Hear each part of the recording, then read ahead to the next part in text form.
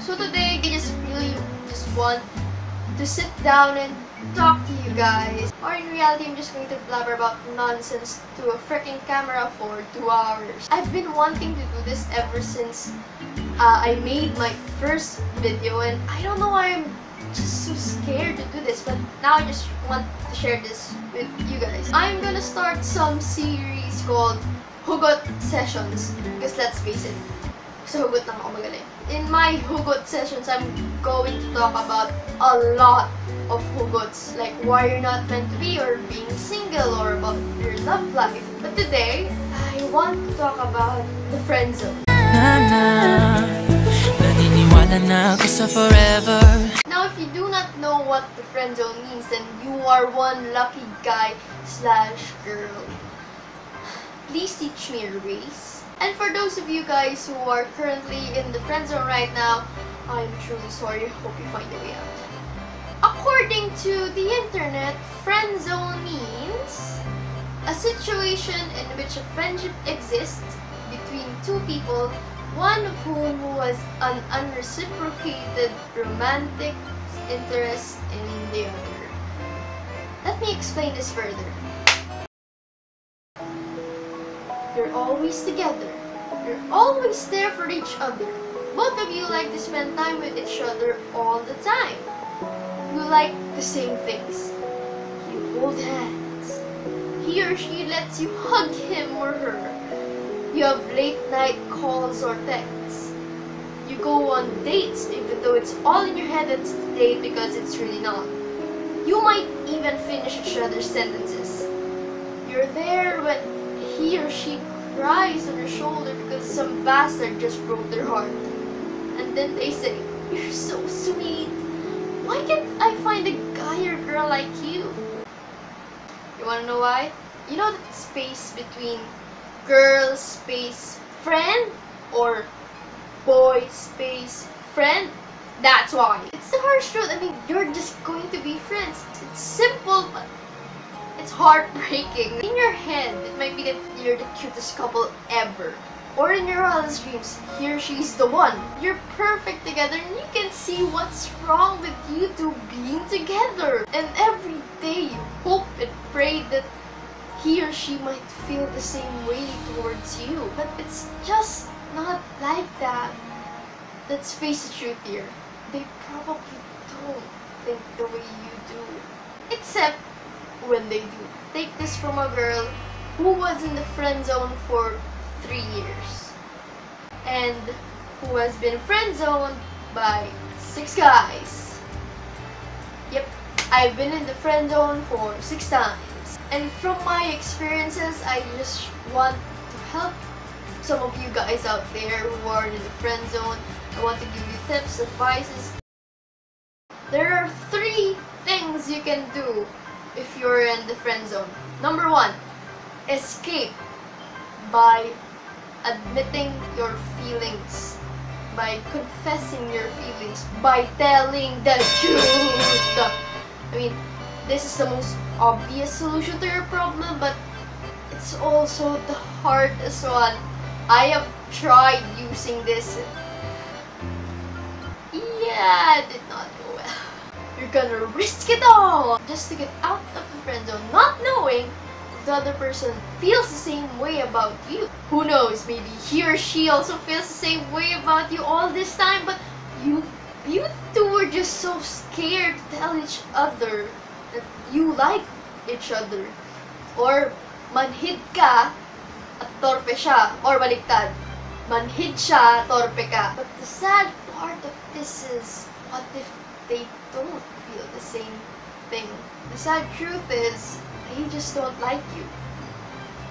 Just not meant to be. And you're probably better off as friends.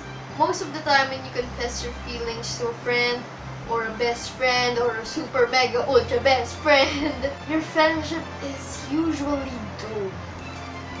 Don't talk anymore, just eh. It's just awkward. Usually it's just awkward. But there are some who really cares about you and your friendship and they don't want to lose you. They don't want to ruin your friendship even though it might be kind of awkward but no, they don't want to lose you because they love you.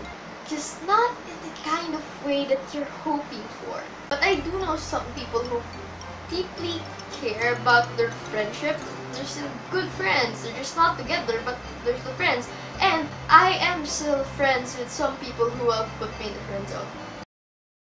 Number two, escape the friend zone by moving on.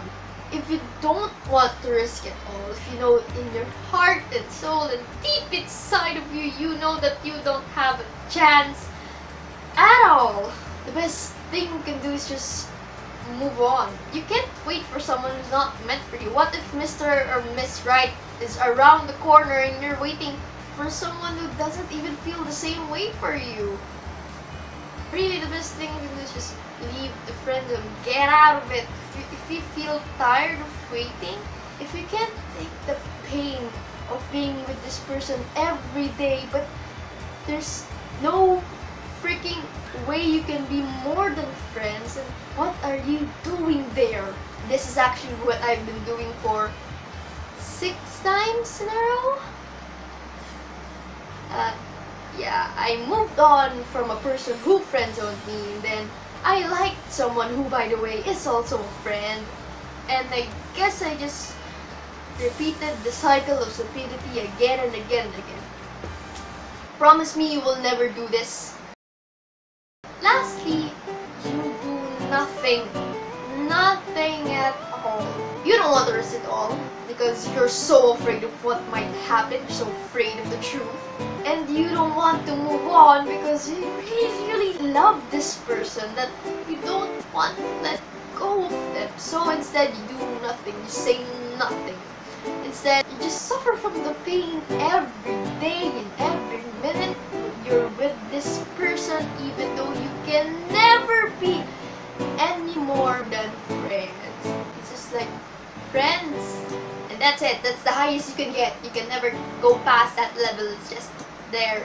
Being in the friend zone for years has taught me a lot of different things. And I guess the best advice I can give you is just forget the feelings you have for this person you like, for this friend you like. Want to ruin your friendship.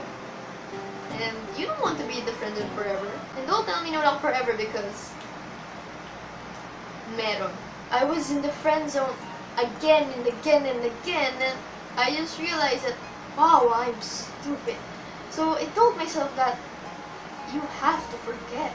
For me, I cannot take the pain anymore of being in the friend zone so I just for forgot all my feelings for that person. And as of now, I actually don't have anyone who I like right now. Mostly because I am not in school. Right now, I'm just satisfied with people who don't know I exist. And that is it for this week's video. Hope you guys like this kind of video and we're just sitting here talking to you guys. And I think I will continue this hugot sessions. It's nice letting all these feelings out. Write down in the comment section below your friend zone stories how did you get out? Or what are you still doing in the friend zone? And how many years are you in the friend zone? And and if you have other tips or advice on how to get out of the friend zone please share down in the comments below. Just your friend zone story. And go watch Jennina's and Gian's videos and I will see you guys next week bye.